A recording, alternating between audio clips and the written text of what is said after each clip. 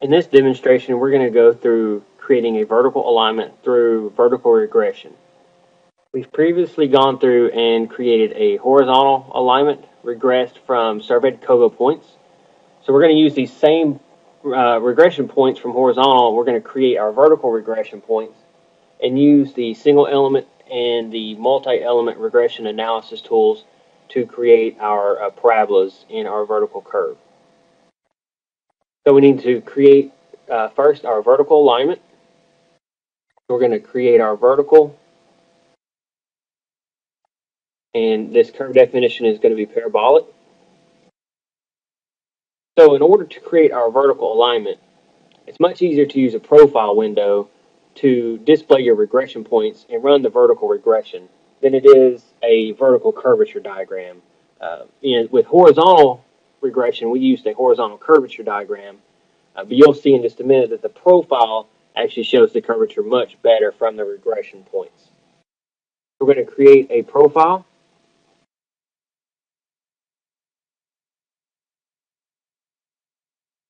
Okay, so we're going to use a we're going to use a little bit of a vertical exaggeration uh, so we can easily see these points to regress and know where our linear elements and our parabolas are. For our source, we're going to use window only, create our profile down our horizontal alignment. Under the controls, we need to set up our elevation controls. So we can select from COGO points, and this gives us our high and low elevation from our COGO buffer. I'm going to add a little bit to our high and low values to give us a little bit of a window clearance, make it a little easier to work in the profile. So we select apply, and we'll place our profile.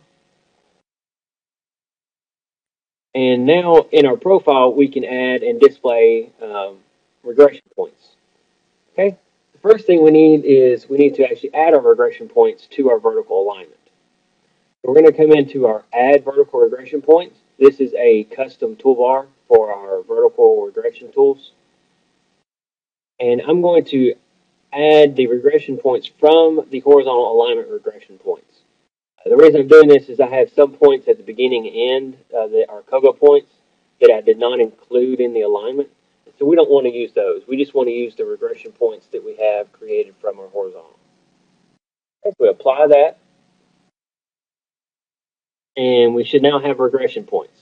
If we come into display our regression points, uh, we can display a sorted line, we can display uh, text and symbols. Select apply, and you'll see in our profile now we have a sorted line between our regression points. This is not a vertical, this is just a line representing our regression, our regression points.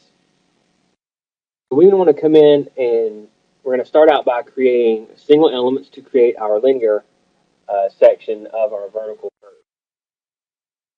We want to open up our edit review regression points, uh, very similar to our horizontal regression. Okay, so we want to use uh, select only. We're going to select this first section here before we get to our curve. Uh, what we're going to do is we're going to use a single element regression to create our linear sections at the beginning, in the middle, and at the very end.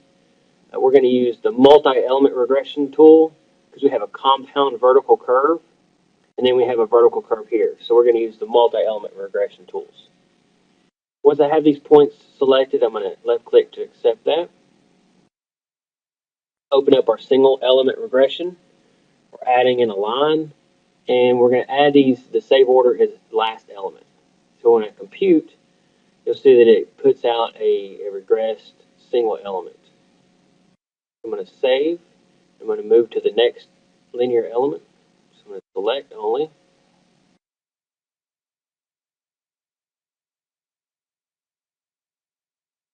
So I'm going to select this section here in the middle. I'm going to compute. Sorry, we need to accept first. Now I can compute and save. And we're going to do this to the last section here at the bottom as well. So I'm going to select, accept, compute, and save. We can go ahead and close out of the single element tools because now we're going to move over to the multi-element. and we're not going to need to select regression points because we're going to use regression between the elements. So we can close this box as well. We want to open up our vertical, uh, multi-vertical element regression analysis command. We need to select our elements for our beginning and our ending, uh, where it knows what range of points we're going, or what range of elements we're going to be regressing. So I'm going to select our first linear element. I'm going to select our second linear element. Now we need to create our compound curve. So we're going to have two parabolas in this compound curve. So for our connecting elements, I want to right click, select add after. I'm going to change the type to parabola and based on just some generic um, known values like our tangent coming in, uh, our, I'm sorry, like our grade coming in, our, our, exiting grade for this, and our length, we do have some some generic values that we're going to input in to create uh, a generic placement for these points, and then we'll run the, the regression to apply and, and free up our elements. So for the fir first parabola, we know that our length is about 200 feet these each section here is 50.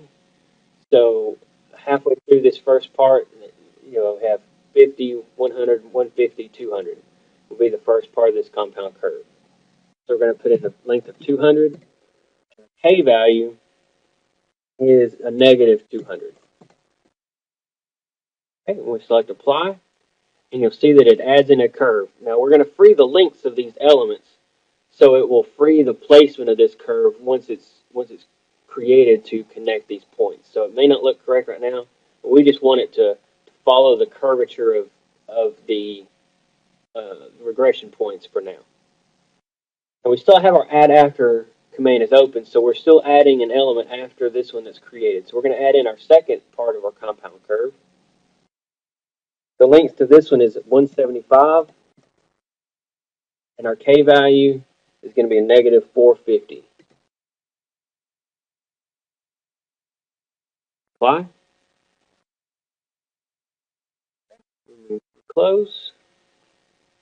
So now we want to connect these points so they uh, the geometry of this vertical uh, be becomes correct.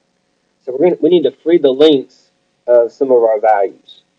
So we're going to free the lengths of uh, our first element Actually, let's do our ending element so we can expand this line up a little bit further.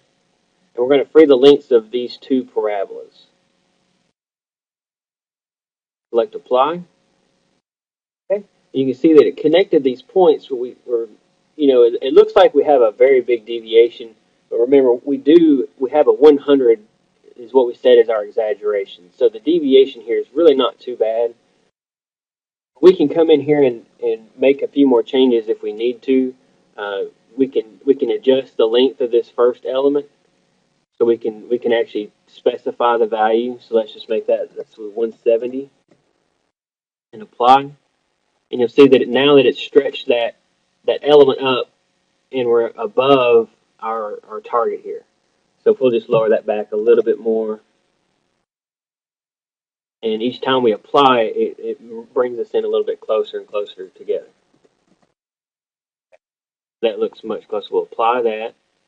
Okay, once we have that applied, now we're hit save. We need to move over to our next element. Okay. Come down to this next curve. I want to select the beginning and ending elements.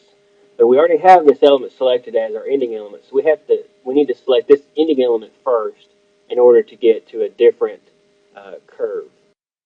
We're going to change our beginning element now to be the middle section. Okay, now this is just a single curve, a single parabola, so we're going to right click, add after. We're going to add in our parabola, our length. We're going to put in a value of 325 and our K value this time is going to be a positive 500. Apply. Now we need to free our parameters to extend our lengths uh, as needed. So in this case, we actually can go ahead and free all of our lengths. So we can free our beginning element, our ending element, and our parabola. Select apply. And you can see that it's connected our points together. Okay, so let's go ahead and save and close. Now let's go ahead and run a review on this alignment. And as you can see, we have our linear, parabola, parabola, that's our compound, linear, parabola. So it's gone through and it's created all of our elements. And now that we have our vertical alignments created, we can come out and we could we could run annotation on this profile. Just use an annotate profile command uh, and view some of our values. Uh, but let's go ahead and we're going to create a slew diagram for our vertical. Okay, so uh, for exaggeration, I'm going to change this, lower that a little bit. We're going to run this on our horizontal regression. Our vertical alignment is our vertical. And I'm going to display a line. but This is our slew line. And then our elements. And this elements here, this yellow, is actually going to be the curvature. When I select apply, and I place that slew diagram, close, and you can see this represents our linear. We come up to our, trans, our compound parabola, and then linear down to our our next parabola, our next curve, back up to a linear. So this is our curvature, is our yellow, and then our slew is here in this green line that represents the slew of that vertical. Okay, so that includes the demonstration on creating a vertical alignment from uh, the vertical regression tools.